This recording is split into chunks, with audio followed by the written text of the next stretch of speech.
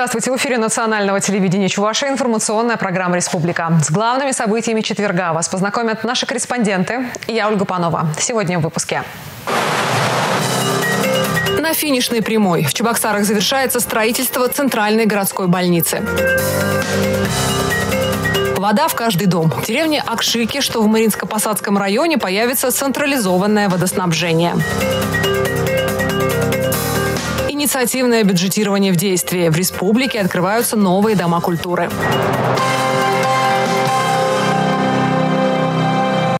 Строительство многопрофильной поликлиники в центре Чебоксар вышло на финишную прямую. Сегодня ход работ на объекте проинспектировал председатель правительства республики. Подробности у Дмитрия Ковалева. Строительные работы пока продолжаются, но коридоры будущей поликлиники уже преображаются. Цвет настроения яркий и явно не больничный. Еще одна задумка дизайнеров – атриумы под стеклянной крышей. Вот здесь ограждение, ультравысокое стеклянное, и за ним защитное еще ограждение. Ограждения. Там у нас дальше противопожарные перегородки, и вот здесь СМЛ-панели, надо везде их заканчивать.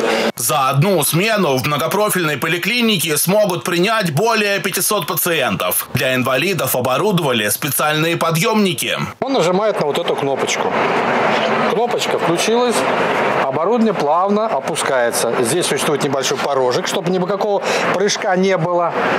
Опустившись вниз, он плавно заезжает, нажимает кнопку уже на приборе, она поднимается наверх, и он спокойно переезжает дальше. Ну, все это стандарты? Это все стандартно, но мы работаем над тем, чтобы это оборудование было еще лучше.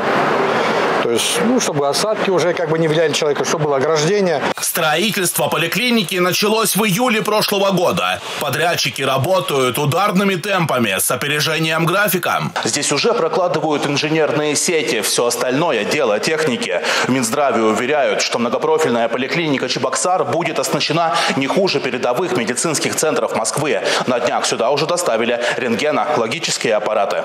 Многопрофильная поликлиника снизит нагрузку на другие другие медицинские центры, отметил председатель правительства Иван Моторин. В приоритете доступная и качественная помощь пациентам. Современное оборудование, современные условия, естественно, это, будет, я думаю, нравиться и населению, жителям, ну и самим врачам. Основной вопрос – это оплата за вновь э, ну, новые работы, которые не были учтены в первоначальном проекте. Открытие поликлиники намечено на конец этого года. Дмитрий Ковалев и Андрей Шоклев. Республика. Хозяйства республики приступили к сбору раннего картофеля. Урожайность второго хлеба в этом году превышает 230 центнеров с гектара. Наша съемочная группа посмотрела, как идет уборочная страда в Яльчикском районе. Свои каникулы они проводят с пользой. Кристина Волкова с одноклассниками выходит на сбор картофеля каждое лето, чтобы помочь родителям и заработать. На заработанные деньги мы покупаем вещи в школу, э, школьные материалы, э, и эта работа мне очень нравится. На этой работе машина не заменит людей. Чтобы не повредить тонкую кожуру корнеплода, его необходимо собирать руками. За день с поля увозят порядка 50 мешков картофеля. В хозяйстве в этом году рассчитывают получить большой урожай второго хлеба. 200 центнеров с гектара для аграриев не предел.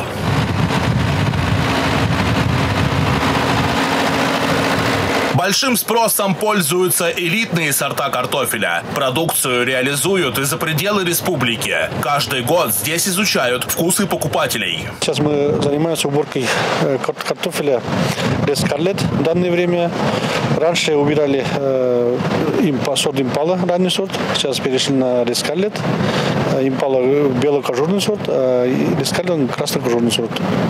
Ну, что потребитель, э, покупатель спрашивает, мы стараемся выкапывать те сорта. Ну а в ближайшие дни в хозяйстве намерены приступить и к сбору позднего картофеля. Дмитрий Ковалев, Татьяна Раевская и Андрей Шоклев. Республика.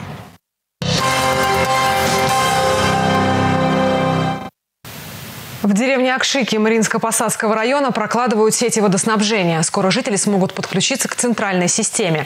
Когда в домах деревенских жителей появится вода, узнавал наш корреспондент Рифат Фаткулин. Я ждала это 44 года.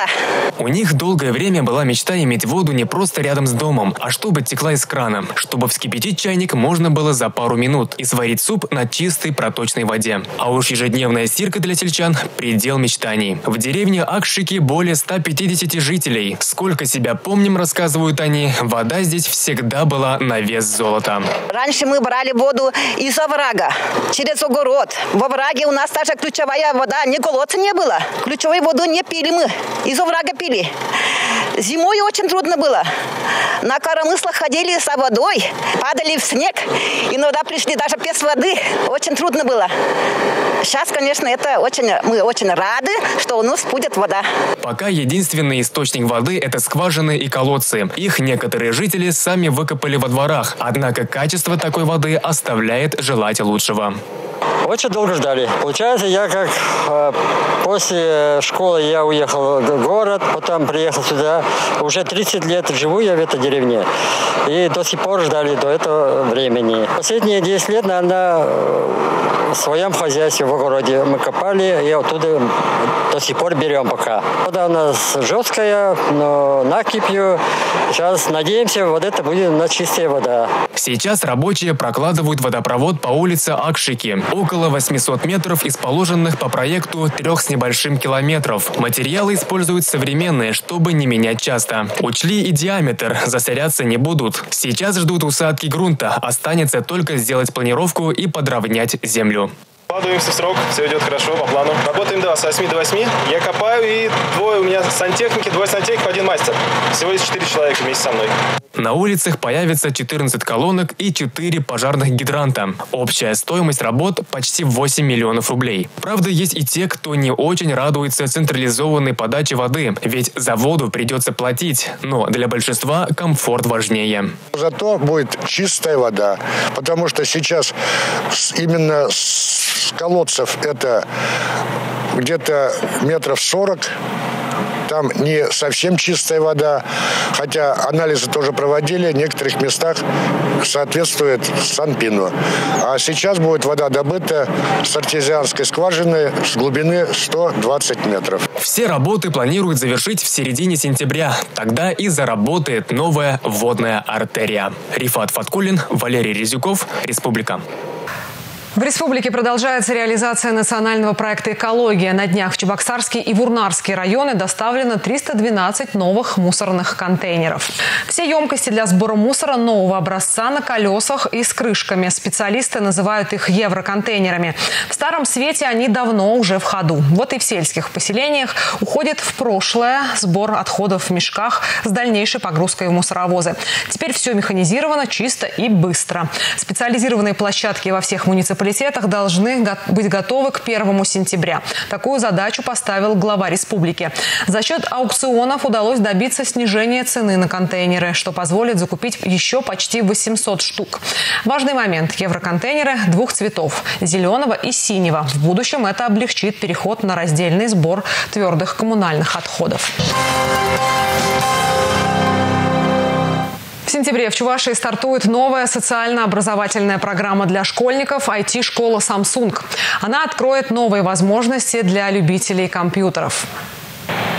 В сентябре в Чувашии стартует новая социально-образовательная программа для школьников IT-школа Samsung. Она уже работает в 22 городах России. В ней учатся увлеченные новыми информационными технологиями старшеклассники. Детей будут обучать программированию на языке Java. Занятия будут проводиться в Центре цифрового образования детей и подростков IT-куб на базе Канашского педагогического колледжа. Обучение школьников будет проходить в рамках регионального проекта «Цифровая образовательная среда», который входит в национальный проект образования.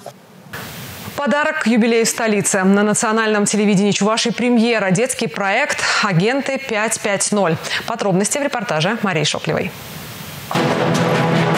Они работают, когда вы отдыхаете.